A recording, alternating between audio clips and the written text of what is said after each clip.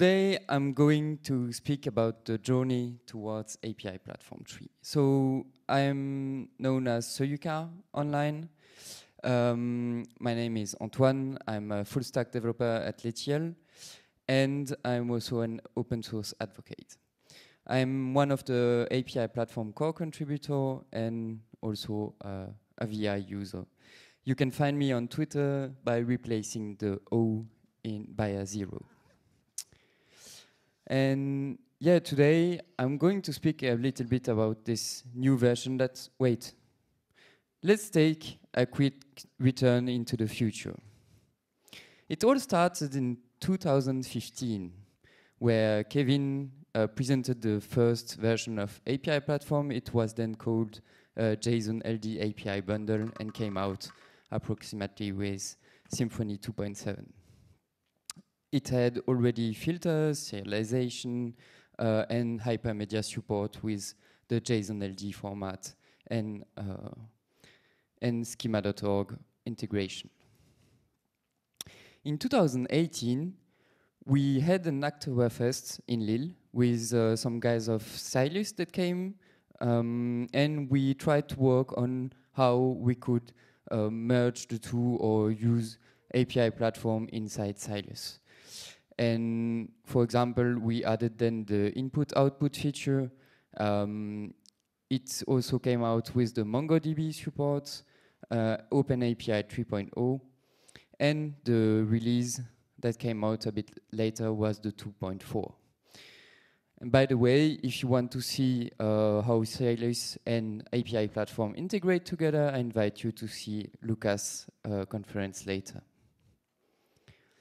In 2019, we went to this European hackathon in Brussels, where uh, we joined efforts to work on Symfony and API platform.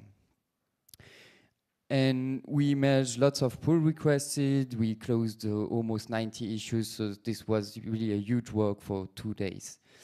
And at that point, uh, a question came back and back and back was how can we improve sub resources?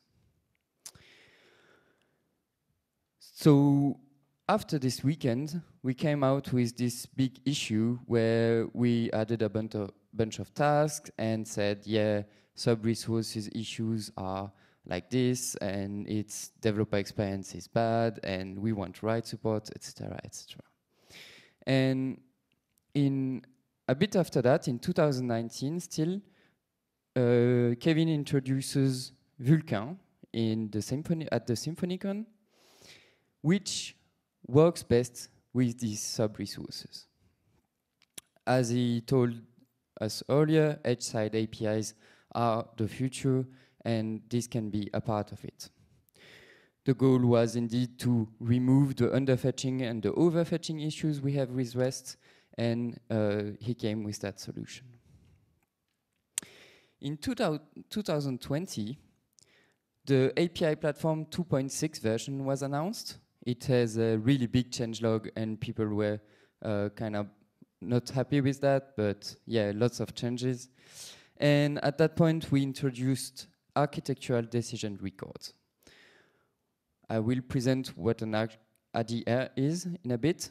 We added PHP 8 attributes integrated with Caddy, and uh, we added the ActivityPub component. As I said, the list was quite long, so you can find all this in the blog post of Kevin's uh, blog. Still, at that point, there were still no sub-resource related changes.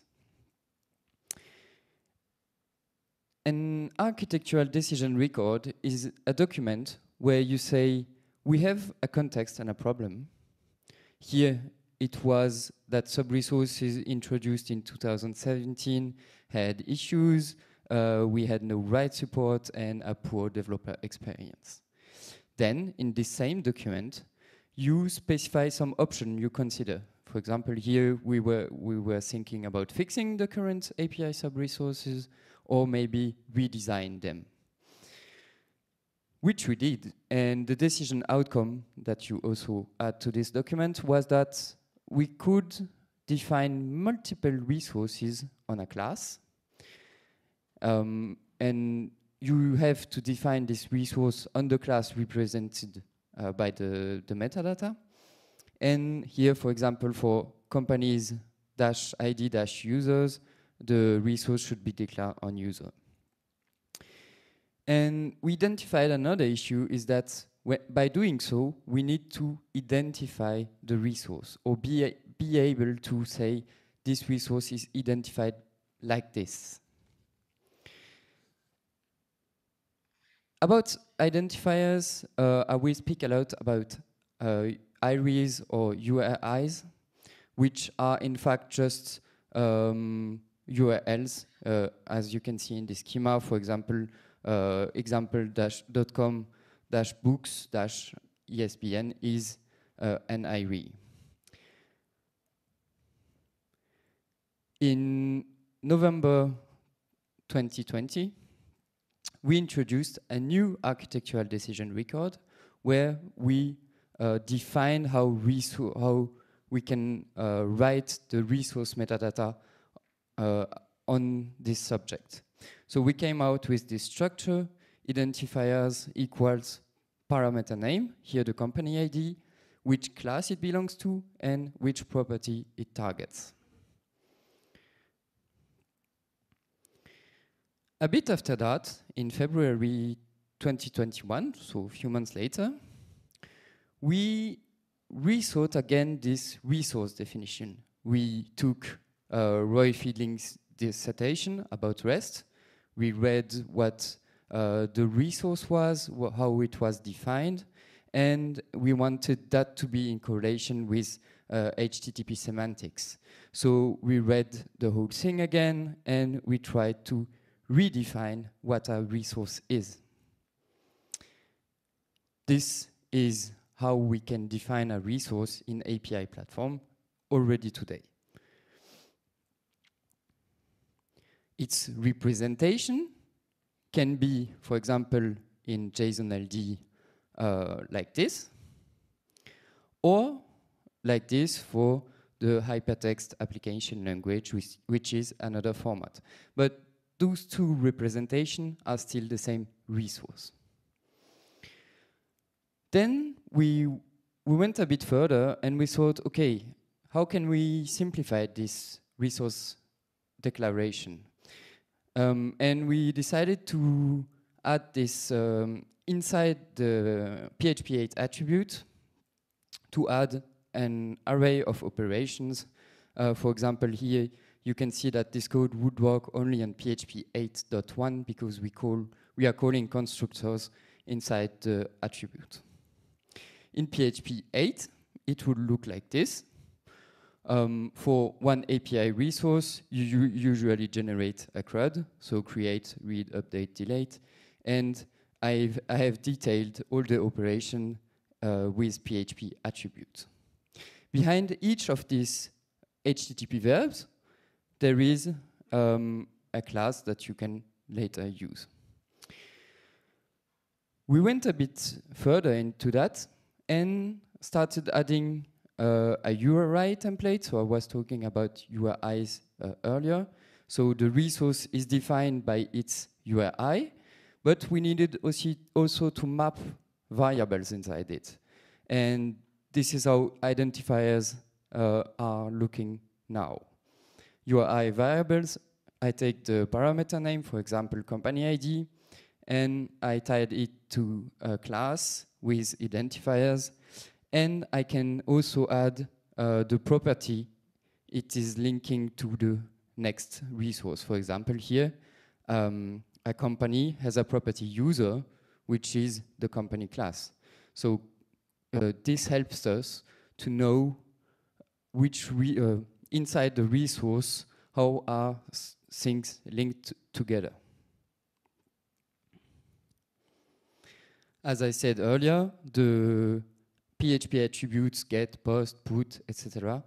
are just mapped to this class that you could reuse yourself to build your own attributes and um, uh, write you write them with some defaults or whatever. So what does this mean for the code base? Before 2.7, in API platform, for each uh, resource declared on a class, we have one corresponding resource metadata, and we, were, we are using internally this interface, where we give a class and it gives the resource metadata. Before 2.7, it has item and collection operations. Today, we can declare multiple a, uh, PHP 8 attributes API resource on a class, each having operations. We remove the item and collection difference to simplify things. The thing is, I've done this new interface, resource metadata collection factory interface, which returns not a return resource metadata, but many resource metadata. What does this mean in the code base? Let's take a look at API Platform 2.5 and just check how many interfaces we found in the classes. So I just do a quick grep in my, in my source code, excluding some directories, and there we have it. Let's count this with uh, WC, and we see that there are 167 classes to edit. So this is a lot of work. I started working on this in June. And as you can see on this uh, video, I was uh, saving a bunch of work in, in temporary commits for a while, for a while, until uh, I reached some status where I could uh, make the test pass. Basically, what it means in the code is that I have to add this code in, uh, in almost uh, one, 200 classes, where I just trigger deprecation when, the, when we inject the old resource metadata factory. And I have also to implement the logic behind it, which is now that for a class we can have multiple operations and we have to uh, call the new code. One eternity later, I came out with this pull request.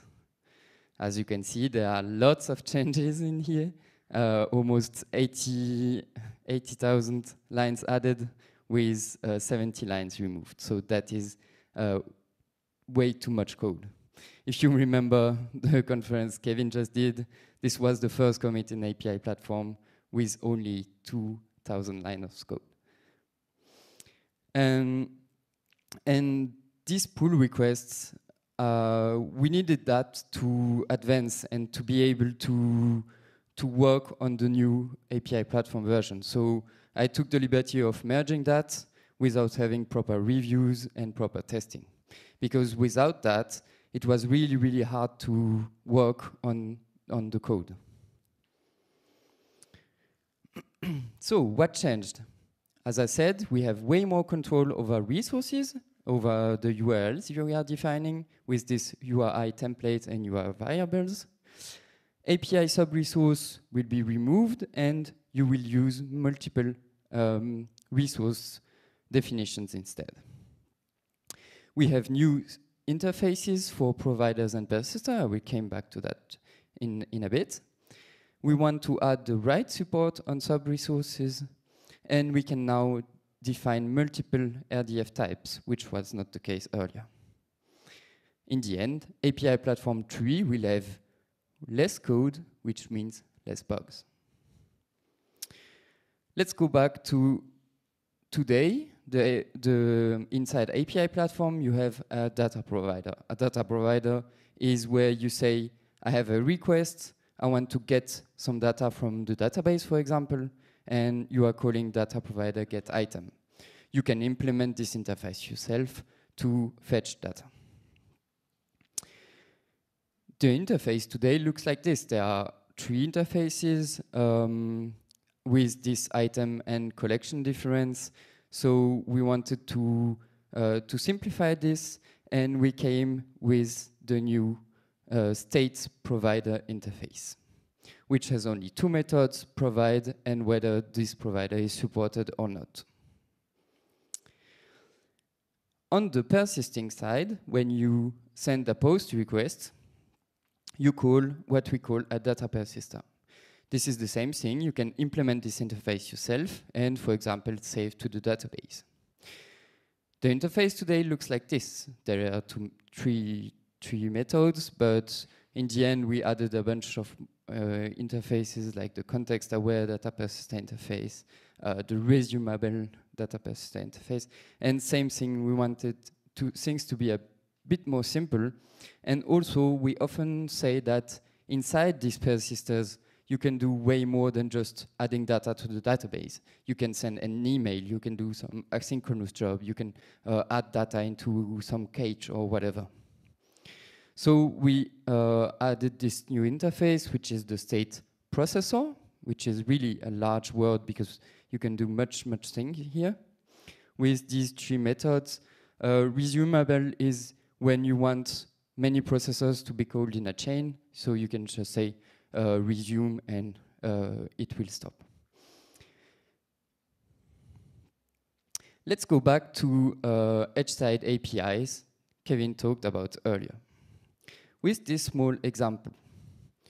This is a collection of event reservations, and as he said, we want um, resource representation to be as small as possible. This will be defined in API platform 2.7 or 3 like this. So we have the API resource attribute where we say IRI only because uh, uh, if I go back in Hydra member, we have only IRIs. We don't have the whole data. So this flag was added in API platform 2.6. If I take now an item, so this is the event reservation, you can see that inside the details, uh, let's say we have a bunch of details we don't really need in every call, so we put this in a sub-resource. Let's just first see what the resource definition looks like on the item. So this is the event reservation class. We said that it has this identifier reservation number. Behind it, we are working to, to um, pre-calculate or pre-compute the URI template and URI variables. You don't have to do this by your own if you don't need to. And for the event detail, we can say, this is the URI template, and the variables are mapping ID to the event reservation class with a bunch of identifiers and the property it belongs to on the event reservation. Okay, so these are quite lots of changes, and the main question you may have now is, how can we upgrade? Don't worry, we got you covered. So uh, we have refactoring scripts to update the metadata. There will be an upgrade guide. Um, the 2.7 version has lots of deprecation, and if you install the 2.7 first, it will be a breeze to go to the 3.0. Obviously, a detailed changelog and updated documentation. Let's talk a bit about Rector. Who does know of this? Okay, so Rector was uh, built by Thomas uh, Votruba, which I want to thank because he merged a lot of uh, patches uh, really fast. And it's a PHP script that allows you to uh, refactor code, basically. And we added on this, uh, we added a bunch of templates that you can reuse in your code to update your code base. We, you can install this using uh, uh, Composer require Rector on your code. Uh, for now, we have to change the minimum stability because there are a bunch of uh, beta packages. But don't worry, you can install this, do the changes, and then just uh, revert the composer.json. Then you launch this command, php bin console API Rector upgrade, which is an API platform command with the resource. First thing to do is to transform the sub-resources. It's really important because uh, how it's built today, we need the resource metadata to be to be callable before we transform them. So you see here, I launched the command, and I'm taking the option three to transform my sub-resources to, uh, to multiple resources. I do this on the API platform code base, on the fixtures directory, and uh, I launch uh, this. Um, so we have today uh, new in our CI on API platform, we added a job that does this and then run our, our tests just to be sure that nothing breaks. So you see it added a bunch of legacy stuff. But this will maybe be simplified again. Second step is to transform the resources. If it does work, yes. So same command, I launch it, and this time I will pick uh, another option, which is to upgrade my API platform annotation to the new PHP 8 attribute. So you can see we added other options that I will not describe today, but you can also use them to, to upgrade uh, annotation to API platform 2.6 PHP attributes. So here it does ask us if we have API sub-resources left, because if we have, you need to transform them first. Once that's done, uh, let's take a quick look at a class to see what changes. And you can see that uh, it changed, it removed the API resource annotation and added the new metadata. About deprecations. In API Platform 2.7, we kept the Symfony backward compatibility promise. We changed the namespace from API platform core to API platform, so uh, the legacy code will be under core. There are new interfaces on the IRI converter and identifiers extractor, so these are really specific stuff. If you don't know them, don't worry about them. And we changed the name of the ident identifier converter to identifier transformer. This is a class that uh, you can use, for example, if you have a parameter in your, in your URL, which is uh, usually a string, for example, user dash one, one is a string, and in your class it is an integer. So you need to change this string to an integer, and you would use this identifier uh, transformer. The converter was introduced in 2.5, uh, I think. And obviously we have the metadata changes.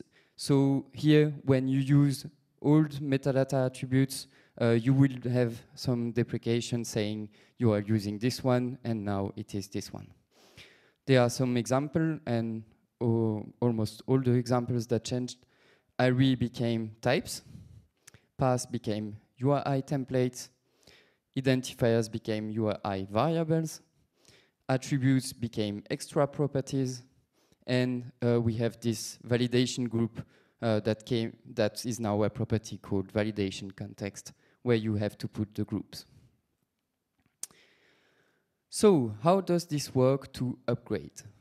Basically, in 2.7, there is this uh, new configuration flag, API Platform Metadata Backward Compatibility Layer, that is set to true. You install the new version, you put this flag to false and you try to update the code until it works. Then in 3.0, we will remove this flag completely from the code base.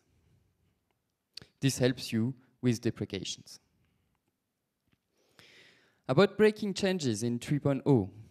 First thing, the, the skip null value part will be default. This means that if you have a null value in your response or in the resource representation, it won't not be shown anymore. You have patch support by default. We are removing the API sub-resource annotation and logic, etc. So this is lots of code. Um, we are removing all the legacy code and legacy uh, services. And we, we are thinking about adding this feature where uh, when you call a sub-resource, you get a 301 response code instead of a 200. So about this, uh, let's take an example where we call uh, companies ID users user ID. The user, the resource behind it is a user. And I was wondering if in JSON LD we should return the IRI as you see here, so companies dash one dash users dash two. So, or maybe users dash two, because in fact it is a user. And I asked uh, the mailing list of uh, JSON LD uh, what we should do in this case.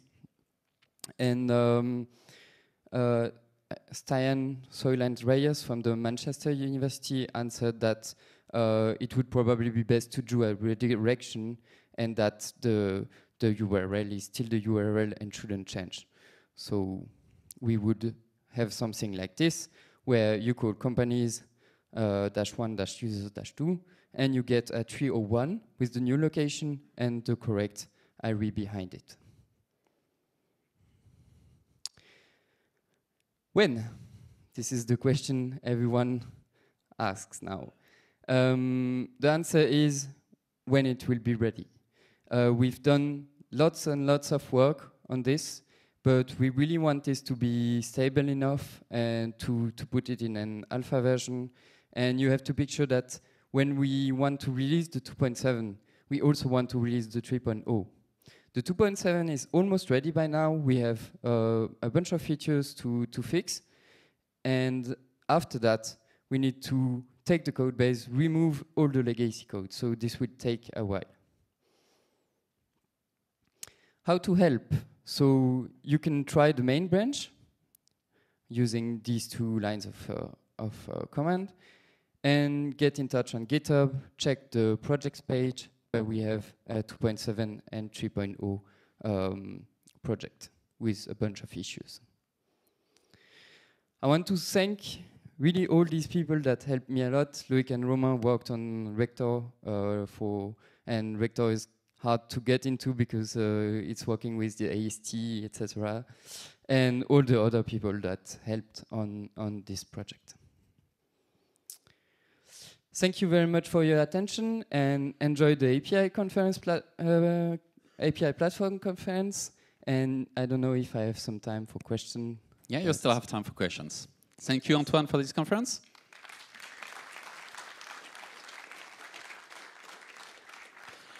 Are there any questions in the assistance? That's a lot of new features you present us. And I'm surprised nobody has question for that. And do you have any questions online?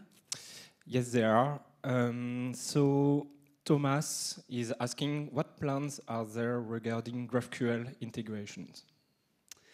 Ah, indeed. I didn't speak about GraphQL, but uh, for GraphQL, we added the same classes. So we have, you see, we have um, operation PHP attributes for get, post, put, etc. And we have the same one for GraphQL. So you have query, mutation, subscription.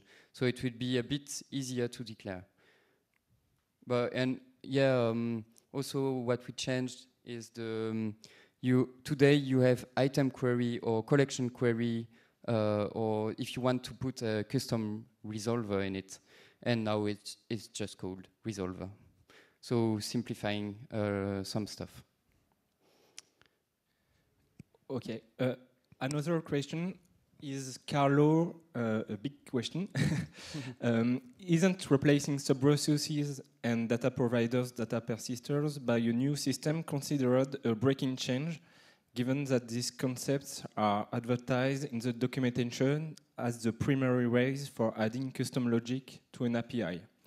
Uh, what's the rationale to publish this uh, as part of 2.7 instead of 3? Um, we need the new interfaces to be available in the 2.7 so that you can upgrade. But don't worry, the data persister data provider will still work and they, they will work in 2.7. I would like to add a Rector uh, script to, to give you the ability to upgrade these uh, in just one command.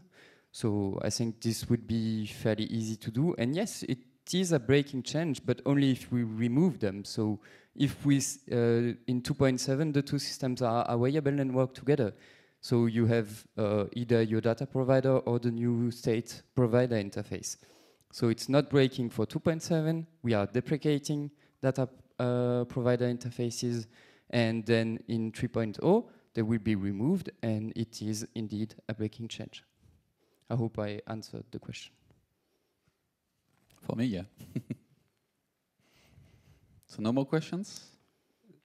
there are some more Yeah, online, please. of course. Yeah, please. Um, uh, what is going on with the Elasticsearch and other search, uh, search engine drivers? Um, so recently we upgraded the Elasticsearch PHP package. By the way, it's looking for maintainers. So please, if you if you are able to do this, do it.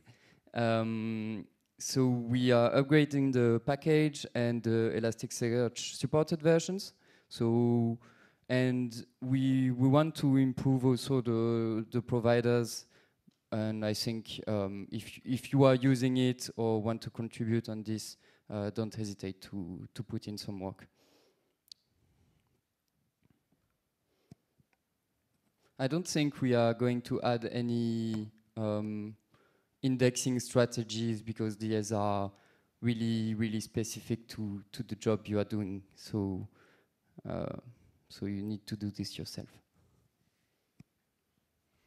Any more questions, even online? Is uh, uh, Vincent is, is asking, is the 2.7 will be compatible with PHP 7? Yes, yes, yes. And this was hard work, but uh, 2.7 is the last version that supports PHP 7, but we really advise you to upgrade because in the 3.0 it will be only PHP 8 and after.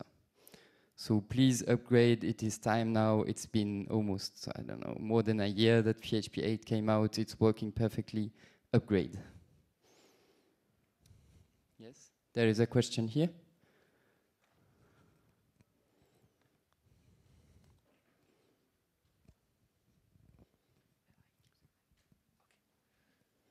Thank you for the for the talk. And about uh, DTO and data transformers, is that something uh, we know we need to know? For now, these things uh, stay like they are. Uh, we don't want to change them because they were quite complex to add. So they are just staying as is. But I think that in most cases, I have easier solutions.